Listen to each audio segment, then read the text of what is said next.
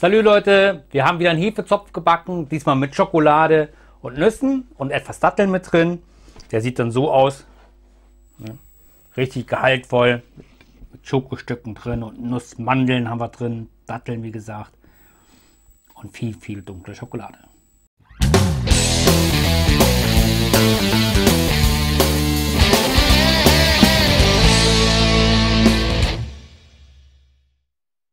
Zutaten für den Schokoladen-Nuss-Hefezopf sind Dinkel-Vollkornmehl, lauwarme Milch oder Pflanzenmilch, das ist jetzt so eine Soja-Vanillemilch, nehme ich sehr, sehr gerne. Hefe, frische Hefe oder Trockenhefe ist einfach nur ein Arbeitsschritt weniger, wenn man mit Trockener arbeitet. Etwas Zucker, Vanille gemahlen, Schokolade ist dunkle Kuvertüre 75%, Mandeln, ich habe es so ein bisschen ergänzt mit Cashewkernen, ne? Das passt immer auch ganz gut, gerade wenn man, ich hatte jetzt nicht genug Mandeln im Haus, ne? So 25 Gramm haben mir gefehlt. Datteln, damit wir einfach weniger Zucker nehmen müssen, auch sehr gesund natürlich. Dann Butter oder Margarine und das war's.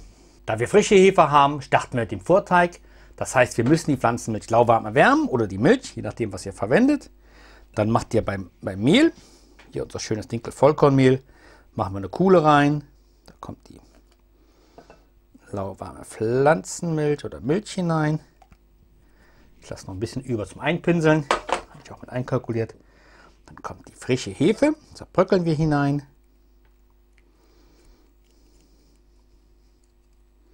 So. Wir machen etwas Zucker drauf. Das fördert noch, dass, dass die Hefe noch besser arbeiten kann. Stäuben das mit so ein bisschen Mehl ab sauberes Tuch drauf und circa eine halbe Stunde gehen lassen.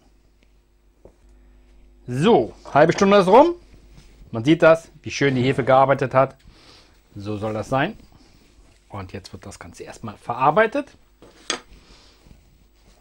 Aus der Mitte heraus zusammengerührt im Prinzip.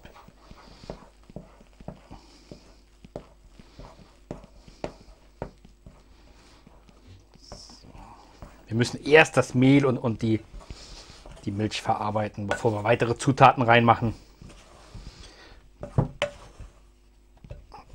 So. Also wie gesagt, ihr könnt natürlich mit dem Knethaken beigehen, dann ist das einfacher. Ich zeige es ja gerne mal, wie es manuell geht, wie man das früher mal gemacht hat. Dafür muss es jetzt auf die Arbeitsplatte.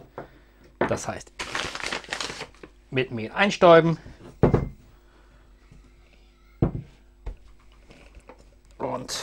Ne.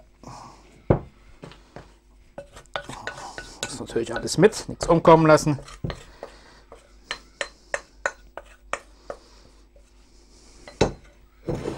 Und erstmal zusammenkneten.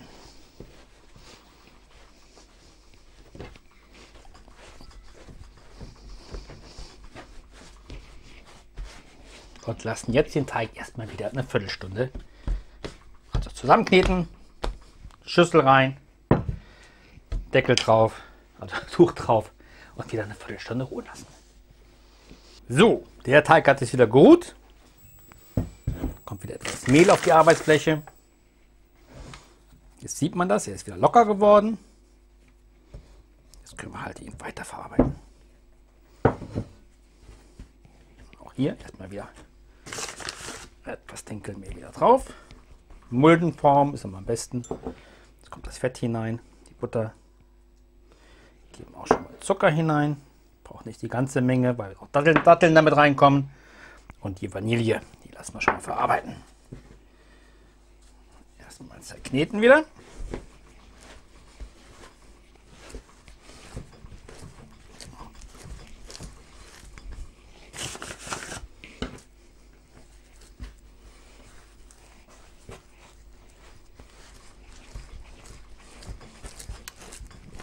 Mit der Knetmaschine ganz einfach dann wieder einfach alles mit dem Knethaken verkneten. Ne?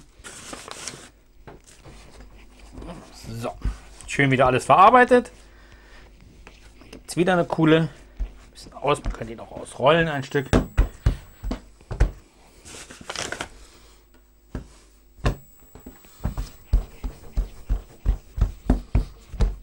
Das ist halt Handarbeit. Ne? Handarbeit ist halt immer etwas anders. So, die Datteln rein. Nüsse und Schokolade.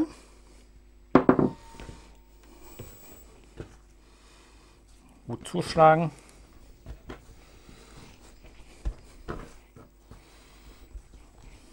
Wieder Mehl drauf und weiter zerknicken.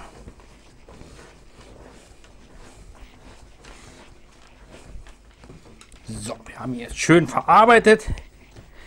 Erinnert fast an Lebkuchen in der Optik. Halt die Menge dunkle Schokolade. Das dunkle Vollkornmehl ist ja auch vom Grundsatz her ein dunkles Mehl. Jetzt drehen wir den ein bisschen auf, äh, rollen den ein bisschen aus. So.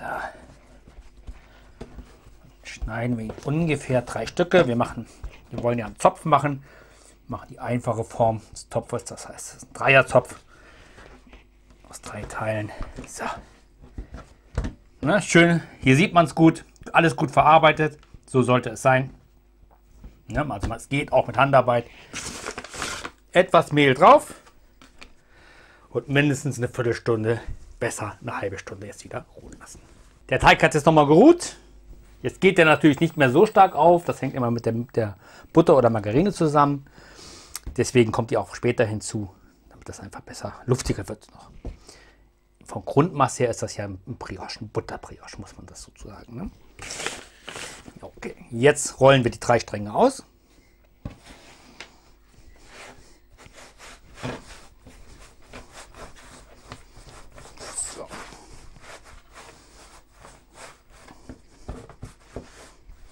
Ja, mal gucken, wir ein paar Nüsschen verlieren, dass wir sie wieder mitnehmen. Können auch einfach reinstecken.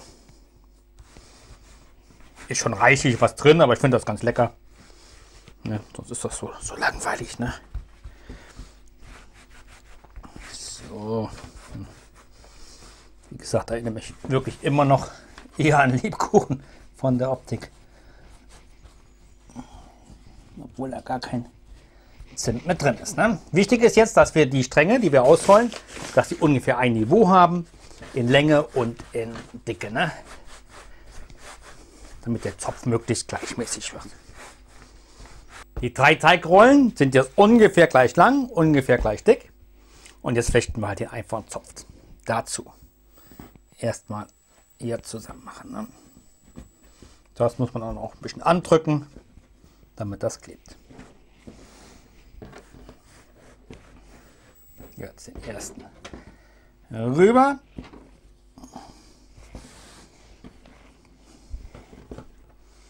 Geht natürlich schwieriger, schwieriger bei so einem gehaltvollen Nusszopf, wie wir das hier haben. Und jetzt immer, immer den äußersten in die Mitte. Ne? So. Im Prinzip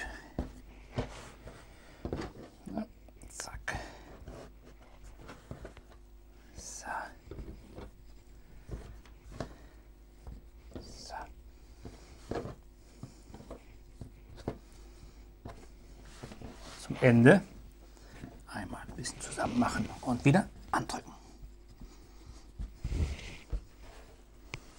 Ein bisschen so korrigieren, wenn man sieht, er reißt hier irgendwo. Ein bisschen gucken, das ist natürlich bei so gehaltvollen Zöpfen.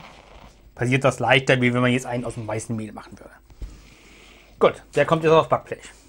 Der Schokonusszopf wird jetzt wieder abgedeckt mit dem sauberen Tuch und dann wieder so 20 bis 30 Minuten ruhen lassen.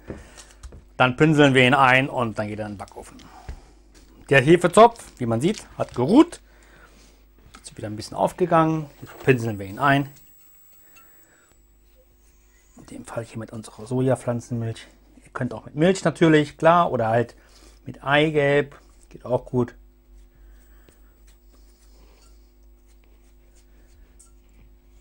Aber es ist nicht so vorrangig, sage ich mal. Ne? Wichtig ist irgendwas nehmen, einpinseln und gut. So, Backofen habe ich auf 180 Grad Umluft stehen und da geht er jetzt hinein. Unser Hefezopf, unser Schoko-Nuss-Hefezopf. 35 Minuten war im Backofen bei 180 Grad. Mm, das kommt immer auf den Backofen an. Der eine oder andere Backofen wird auch 45 äh, Minuten benötigen. So sieht er aus. Bon Appetit wünsche ich. Euer Bierkoch.